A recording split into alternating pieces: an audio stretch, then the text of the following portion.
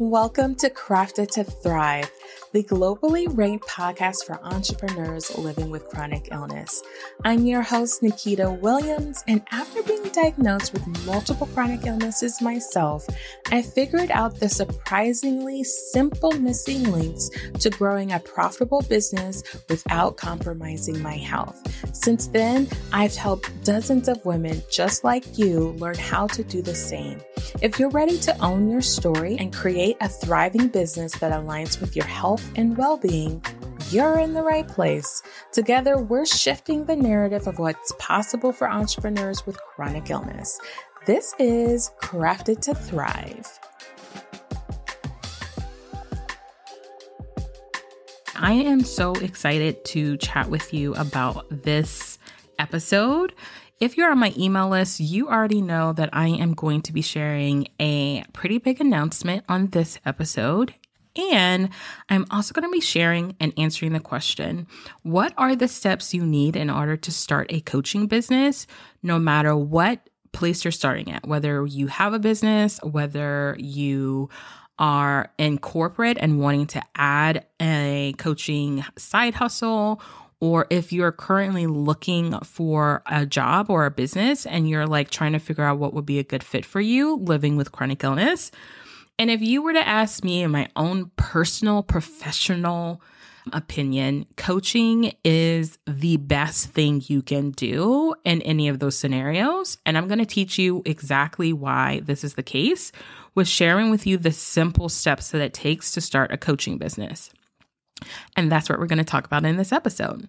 Now, before we start talking about that in this episode, I have a pretty big announcement. And this is kind of just kind of from a standpoint of sharing with you just my journey as a coach. I have been coaching officially, like as like my title since 2018 when I assigned my first quote unquote coaching client. I was looking back at my notes when I started looking at some things that I'm going to be shifting. And I'm like, I've been in the online space for over a decade at this point. I've had a real estate business. I used to do social media and digital marketing, Facebook ads, website design, and all of that. And I've been on the online space for a while. And then also I've done some things like more in person kind of stuff when it comes to growing my own side house, my own business. And of all the things that I've ever done that I have found that just fit me like a glove and just fit like my personality and who I was. And the reason why I also believe leaning into coaching came so quickly for me was because I had already been doing it since I was like a kid. If you don't know part of my story, I've had some kind of side hustle thing since I was like 16 years old. And I've always had this entrepreneurial spirit. And I've always kind of had this idea of like, I probably am going to be working for myself. But along the way, as you may or may not know, especially if you're a new listener here, I went from living like this normal life to all of a sudden being in constant pain.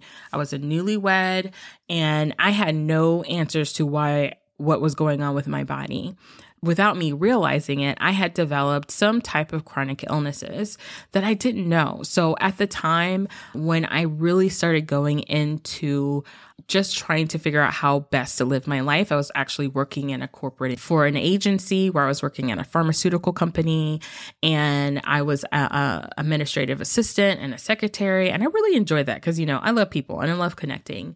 And I love kind of like planning and organizing, and that was my jam. But during that season of my life, I literally was in so much pain and I had no answers for a minute. And during that, I realized that I even more needed to have some kind of side business that could help me contribute to the household income, feel like I could support our family in some way, shape, or form when it came to making a living. And I tried lots of different things. I had my real estate license. I did Mary Kay at some points. I did Tastefully Simple. I did marketing. I did I did a lot of real estate marketing, administrative assistance kind of th- stuff like that. I worked for real estate teams. I was like their go-to person for um, planning and organizing and uploading and communicating with the customer, doing sales and stuff like that for potential buyers and sellers. And I did those things pretty well, but the challenge was always that I was on everyone else's time and capacity. Even when I was working in a corporate environment, I had to be reliant on like being in because I said, you know, my schedule is nine to five, I needed to be there. It's also very like mentally draining when you're going through all those things and you don't really know what's going on with your body. And I just remember at one point just being like, I can't, and having that conversation with my husband. And he's like, you know, it's okay. You figure out what's going to work for you. And I totally know that I'm talking privilege because a lot of us don't have that are listening. Many of you may not have a spouse that is supportive in that way, but I'm fortunate and I'm thankful that I did. So I definitely take that privilege on as a blessing, but I do recognize that all of those that I work with have that support system. But you may, you may have, you may not have a spouse. You may have a friend. You may have family that's in some way, shape, or form helping you financially. And there's no shame in that at all. I just want to just say that I have no shame around it. I'm just over, think, I'm just very thankful and grateful. However, as thankful and grateful as I am for that, I have always thought to myself that no matter what, I wanted to be developing a skill or some type of way that I could take care of myself because anything could happen to either one of us, right? My husband or myself. And so I've always had that kind of the back of my mind. And also, I really enjoy working. I know that sounds crazy, but I'm that kind of person who just really enjoys working, especially when it involves people. And so, while in the season of trying to figure out what kind of business or what type of things I would be doing, I fell into under like into the coaching world. And there's a whole episode about that that you know, you can go back and listen to. I'll put I'll tag it in the show notes, but I'll probably do an updated story on like my coaching story and this upcoming new announcement I'll be sharing with you because it's important. But going back to what I was saying. So as I was developing and going through all these different kind of things, these chronic illnesses, I started trying to figure out which different business models will work for me. And I'm so thankful that I found, and I feel like coaching really found me. It was really something that came into my role. I'm so thankful for it because it really fits me and my circumstances like a glove. And what I didn't realize over these past, you know, five, seven, six years of being a coach is that my clients, many of them have come into the coaching world and have become a coach in some way, shape, or form. A lot of my friends actually are coaches now. They never were my clients, but I was a coach first, and many of them became coaches after talking and connecting with me and asking questions. So a lot of my a lot of my friends are coaches now and have clients and have businesses. A lot of my clients have coach are coaches and have clients. And I have this big aha moment recently of that I've been sharing with you guys all of these different things about growing your business, whether it's in a creative space, as a photographer, as um, uh, a graphic designer, as an artist, whatever skills you had, talking about how you can make them something you can make money on online. But I haven't leaned into my own success story of growing a business from home in a coaching industry, in an up and growing coaching industry, right? And doing it from my bed, from the hospital, from doctor's offices, even, and not feeling weird about it, being able to market and grow my business during some of the hardest times of my life living with chronic illness. And it has helped me pay bills. It has helped me have opportunity to find actual tools to help me live better with chronic illness. And I know I kind of sprinkled it in there in some of these episodes here and there, but I haven't owned it. And so I literally went from living a normal life to all of a sudden being in constant pain with no answers, being diagnosed with multiple chronic illnesses, then to becoming, while dealing with all of that, an award winning business and mindset coach. I am a top globally ranked podcast host. And I'm not saying this to like brag on myself in that kind of way. I'm just saying that I haven't owned that. And I haven't owned that I've helped other women do the same. And I haven't owned why I believe that living with chronic illness, and if you're going to have your own business, having a coaching business is the best and easiest way to make a living. And it is so easy to have more flexibility and sustainability have have a flexible and sustainable business when you lean into coaching. And what's beautiful about coaching is no matter what, who you are, what your passions are, what your skills are, anything can be coachable. It can be turned into a business. Like every client of mine, no matter, even if you're a past client, even if you're a current client and you're not a coach and you're in the artist industry or you're a creative, you could literally add a coaching service to your business and add some income to your eh, business. And it's so easy to do. So, with all of that being said, this podcast is going to have a change. I have named the show, and the values of the show has really been around the true belief that I have, which is we are all crafted to thrive. We have all been given beautiful gifts. Some of them are gifts that are literally just innate in our bodies and our minds that we have been given as gifts. Some of them have been developed over time and trial. And some of them are things that we've learned along our journey in our expertise in um, our corporate environment, our professional environment. And there are other things that are just quirky things about us that make us us. And I truly believe that even in our darkest hours, we can lean on those strengths because we are truly crafted to thrive. We have literally been molded, if you will, into this space of being able to tap into those beautiful gifts, right? And to use them in whatever areas of our life. Like I think about myself and I think about my friends some of the greatest qualities of my friends. I see how they bleed into all of the areas of their life. And I truly believe that's what we are. And that's what I will continue to believe. And that will continue to be a part of the values that are behind the reason I do what I do, behind the reason why I think the way I think, the perspectives that I have. But, but the sentiment is not really clear to most people who are looking for what I do. Many times I have heard from clients who found me by happenstance. So many people are like, I was searching for you. I couldn't find this. I couldn't find what you were talking about. I couldn't find someone talking about growing a business with chronic illness. I couldn't find someone who even looked like me who was talking about this. And I always felt like, well, it's just because I'm not doing a good enough job of creating enough content and talking about it enough. But I recently had a more aha moment of if people are searching for me, why am I not making it easier for them to find me? After much research and like feedback from clients and even my own like like I said research online and just tapping into my community of marketing strategists and coaches and consultants, they're like as much as we love as much as we love the name of crafted to thrive no one knows what that really means until they're listening to the show. So they're not searching that.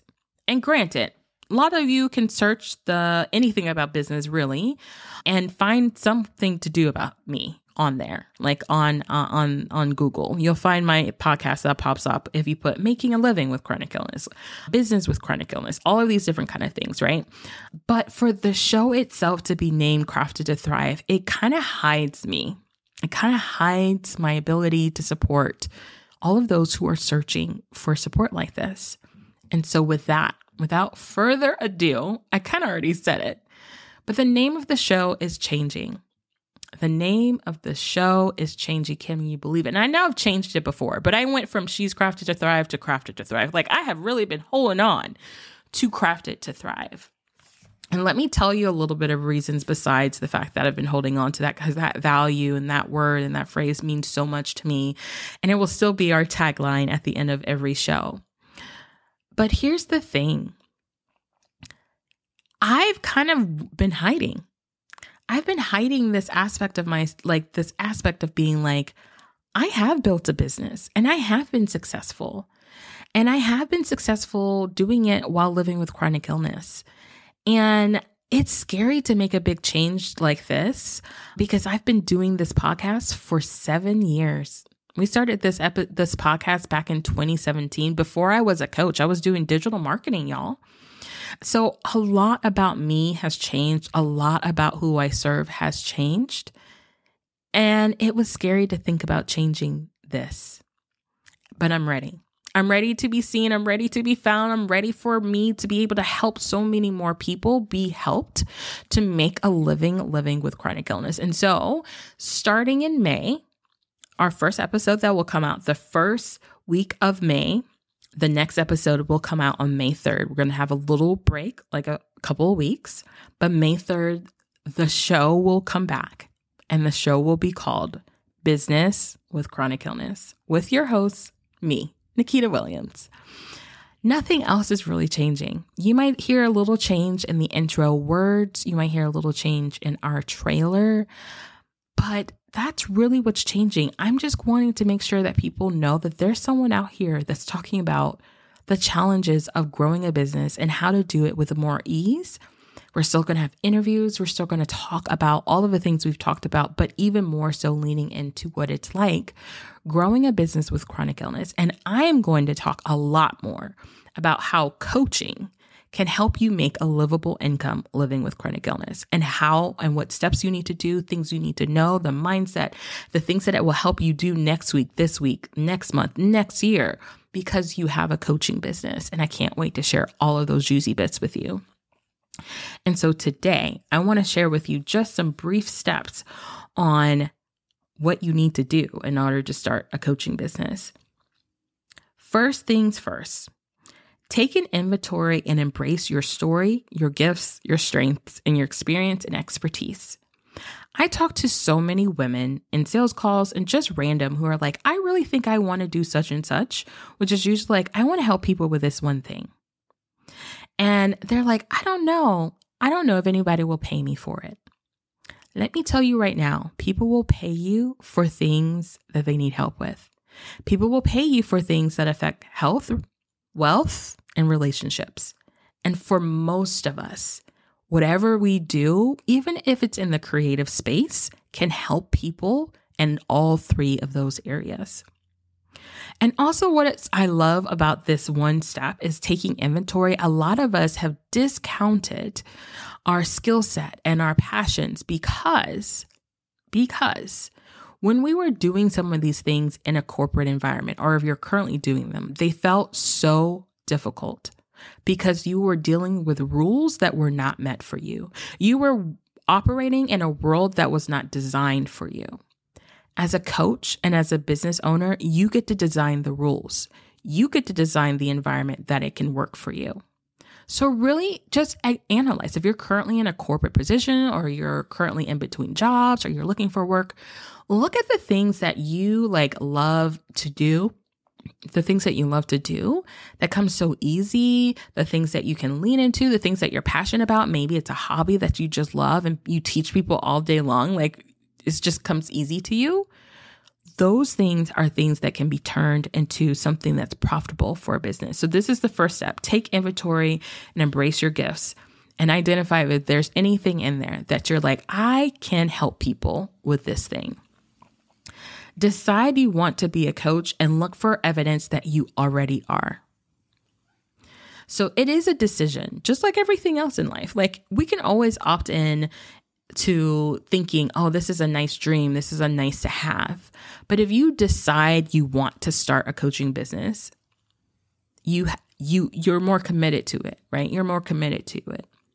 And some of us think we're just starting when you're getting ready to start a coaching business. Some of us think, well, I'm just going to be starting. I'm brand new. I'm going to be starting all over. And I encourage you that this is the profession as coaches where your experience, all that has led you up to here is so valuable for the first person you work with. You don't have to wait to have years of experience as a coach in order to use what you already know. It's like awesome. It's so awesome that you can just take what you know and go ahead and charge what you know and get paid for it and help people, right? Number three, think of three main problems that you can help someone solve that affects their health, relationships, and finances or their money. So in this passion and expertise as a coach, because now that you've decided that you are, and you've looked for evidence. So let me go back for a second. Look for evidence that you're already coach. Here's what I mean I didn't know that I was coaching since I was like a kid. People would come to me about business and things like that. I just had a friend recently who helped me plan our last year anniversary um, trip. And she's like, Nikita, you've always been about the business thing. Like you've, we would ask you different questions about that. Like that was your jam. It still is my jam. Back in high school, back in, you know, when I was doing different things, people would ask me. I was hired by other small business owners to help them run their small businesses. And so that was just something I naturally gravitated to. Plus, my grandparents were entrepreneurs. My mom was an entrepreneur. My dad is a side hustler. Like he's a hustler, right? And so that's kind of like in my bones, if you will. And so it's kind of something that I've always like had a knack for as business and just answering questions and helping people and helping them think things through. And even in my other business as a digital marketer, that's what I did. Even when I worked in real estate, you all, people would ask me specific questions about marketing and doing things differently when it came to networking and community building. That stuff was coaching. So look for evidence where you are already a coach. So, so we did take an inventory and embrace your gifts, decide to be a coach and look for the evidence that you already are. Think of three main problems that you can help someone solve that affects their life today, this week, this month with their health, relationships, and finances, right? So take one, take something that you already love and that you do so well and think about, oh, I can help them solve this problem or that problem this week. Tell people, so this is number four, tell people what it is that you do. You're a coach and you help them do what? You help them solve what? That's the easiest part of marketing and selling when it comes to selling coaching. All you have to do is tell people what you help them do and how you help them achieve that goal, right? The beautiful thing about coaching, I have I love and I love from the beginning. I've I've always had this belief that business is personal. If you go back to any of the episodes between like 1 and 100, I had a couple episodes about business is so personal. We always talk about, we hear like business is business, numbers are numbers. And I'm like, business is about people no matter what industry you are in, it affects people's daily lives. And as a coach, this is definitely that, definitely true. As coaches, our business is personal. A lot of the things we're going to be helping people with, or that you want to help people with and get paid for helping them with, are things that literally affect their every single day. And that is powerful. Okay. Lastly, look for opportunities to connect with people. You don't have a business, you don't have community without people. And that's really the core of what you really need to start a coaching business. Those five things, that's it. Those five things are really what you need to get started and the thoughts and the actual getting ready and set up to have a coaching business. Obviously, there are tech things that you need. There are some marketing and a few, like two systems that you really need in order to start this. But most importantly, are those five steps. And when we come back on May 3rd, I'm going to start sharing with you the very formation of what you need to have in place in order to start this and booking your first client. Now, if you're like, Nikita, I can't wait. I have been thinking about starting a coaching business. I don't know where to start. I don't know what to do. This feels like it could be scary because I don't know if I'll be able to show up because, you know, I flare up. I have doctor's appointments. I don't know how you make time then I obviously want you to book a call with me and jump on a call and get in on the calendar to learn how you can start your coaching business and sign your first client, which is literally the hardest part. I cannot lie. It is the hardest part for a lot of people. It wasn't for me. I hate to say that. It wasn't for me, but that was because I had a business already. So if you're just starting a business, the hardest part is the first client and the other part is just the identity work and some of the little things you need to have on the back end. And it's not a lot. And it's so, and the other beautiful thing about coaching, it doesn't cost a lot of money to get into it. So, so much excitement happening here. I'm so excited. Like, this aha, this like click, feel, this alignment feels so good to be able to come and talk to you guys about this because this is my story. I have made over collectively, I've made over six figures in my business helping people with different issues and problems in their life when it comes to starting a business, right?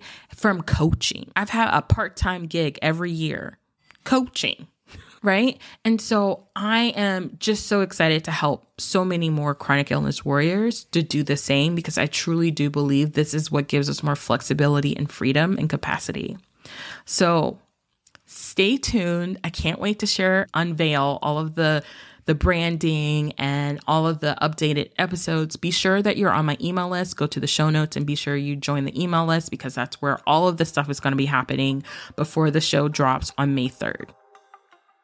That's a wrap, y'all. Thanks for tuning in to Crafted to Thrive, the podcast that helps entrepreneurs with chronic illness to thrive and build a holistic business and life. Check out our website at craftedtothrive.com for this episode's show notes and all the gifts and goodies. Connect with me on Instagram at Thrive with Nikita for more tips and behind the scenes and more. Tag me to share what you loved about this episode, and I'll feature you on an upcoming episode episode. So until next time, remember yes, you are crafted to thrive.